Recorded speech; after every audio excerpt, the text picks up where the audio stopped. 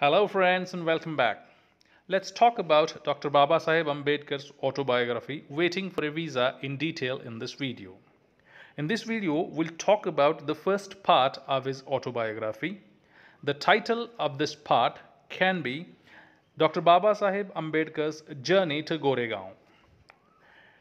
Initially, Dr. Babasaheb Ambedkar tells us about his family. He tells that his family originally came from Dapoli Taluka of Ratnagiri district of the Bombay Presidency. From the commencement of the rule of East India Company, his forefathers had left their hereditary occupation for the service in the army of the company. His father rose to the rank of an officer and was a Subedar when he retired. First, his father retired and decided to settle down at Dapoli, but then he went to Satara. The family left Dapoli for Satara, where they lived till 1904. The first incident Dr. Babasaheb Ambedkar records is the incident that took place in 1901 when he was in Satara. His mother was then died. His father was away on service as the cashier at the place called Goregaon in Khatau Taluka in Satara. Dr. Babasaheb Ambedkar tells that when his father left them, he was along with his elder brother and the two sons of his eldest sister. His eldest sister too was dead. They were kept in charge of their aunt and some kind neighbors. His aunt was the kindest soul he knew, says he, but she was of no help to them. She was somewhat of a dwarf and had some trouble with her legs, which made it very difficult for her to move about without the aid of somebody. Oftentimes, she had to be lifted. Dr. Ambedkar had sisters. They were married and were away living with their families. Cooking their food became a problem with them, especially as their aunt could not, on account of her helplessness, manage the job. The four children went to school and they cooked their food. They could not prepare bread, so they lived on pulao, which they found to be the easiest dish to prepare, requiring nothing more than mixing rice and mutton. Being a cashier, his father could not leave his station to come to Satara to see them. Therefore, he wrote to them to go to Goregaon and spend their summer vacations with him. Dr. Ambedkar's father had given all the particulars regarding their journey and had told them to inform him on which day they were starting so that he could send his peon to the railway station to meet them and to take them to Goregaon. According to this arrangement, Dr. Ambedkar, his brother, and his sister's sons left Satara, and his aunt was kept in charge of the neighbors. When they reached railway station, his brother brought out tickets and gave him and his sister's son two annas each his pocket money to be spent at, at their own pleasure. They once began their career of righteous living, and each of them ordered a bottle of lemonade at the start. After the short while, the train whistled and they boarded. Masur was the nearest railway station for Goregaon. The train arrived at Masur at about 5 in the evening, and the children get down with their luggage. In a few minutes, all the passengers go away, and train leaves for its destination. The four children remain on the platform looking out for their father or his servant whom his father has promised to send. Long did they wait, but no one turns up. An hour goes, the station master comes to inquire. He asks for the tickets. They show him the tickets. He asks as to why they were tarried. They tell the station master that their father was supposed to come to take them, or he was supposed to send a servant to take them. They were all good dressed children. From their dress, station master could not make out that they were the children of untouchables. Indeed, the station master was quite sure that they were Brahmin children, and he was extremely touched at the plight in which he found those children. When the station master learns that they were the children of untouchables, especially Mahars, his face undergoes a sudden change. Uh, the children could see that he was overpowered by the strange feeling of repulsion. 15 to 20 minutes, the children stand there. The sun was almost setting.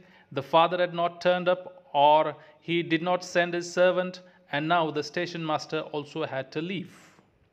They were quite bewildered as what they should do, and their happiness was turning into the sadness. There were bullock carts to be taken to Goregaon, but as the cartsmen knew that they were the children of Mahars, they were not ready to take them to Goregaon. The children were ready to pay double the fare, but the cartsmen were not ready to take untouchable children with them into their carts. This was a very difficult situation. However, the station master found a solution. The solution was the children themselves will drive the cart and the owner of the cart will walk behind them till he reaches Goregaon in return of double the fare needed to go to Goregaon.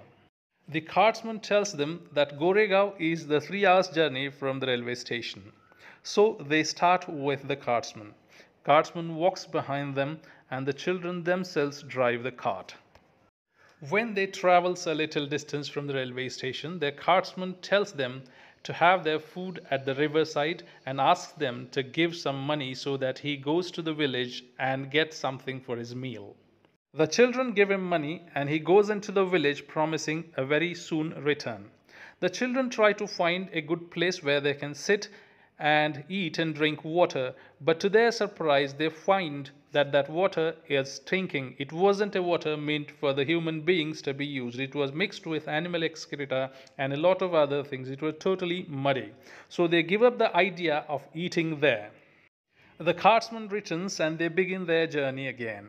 But the cartsman soon jumps into the cart and takes the reins into his hand to the surprise of the children.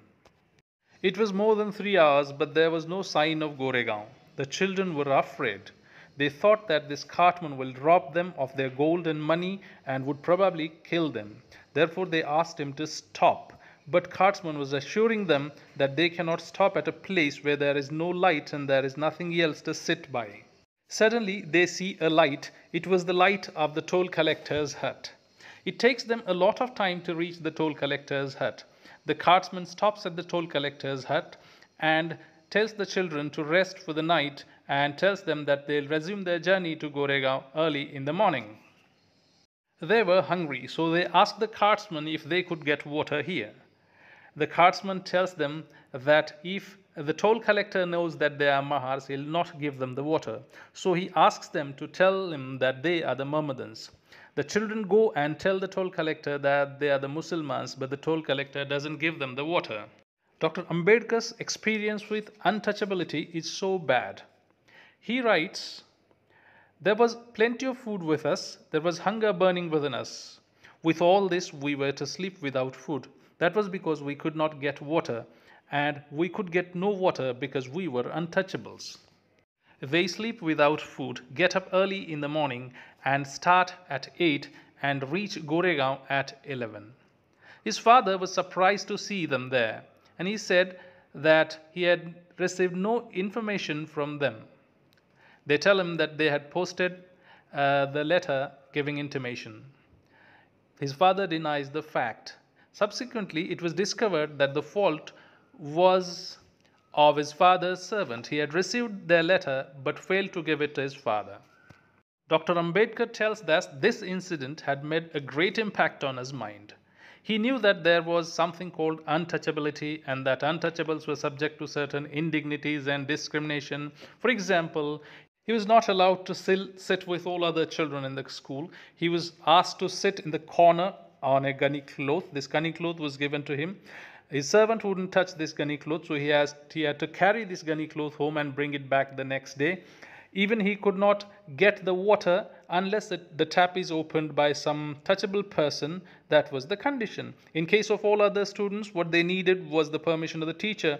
But in case of Dr. Ambedkar, it was not the permission of the teacher that was enough. He also needed someone to open the tap for him to quench his thirst. He also knew that they had to wash their clothes or their sister had to wash their clothes, not because they did not have the money, but because they were untouchables and the washerman wouldn't touch the clothes of an untouchable. The barbers in Satara would not cut their hair because they were untouchable, so they done the task of cutting their hair, hairs amongst themselves. Sometimes Dr. Babasaheb Ambedkar's sister used to do, this task. All this Dr. Babasaheb Ambedkar knew, but he says, This incident gave me a shock such as I never received before, and it made me think about untouchability, which before this incident happened was with me a matter of course, as if is with many untouchables as well as the touchables the first part of his autobiography ends here. I think it was useful. And if you think that it was useful, please hit the like button, share this video with your friends, and do not forget to subscribe to the channel if you're new to it. Thank you very much for watching.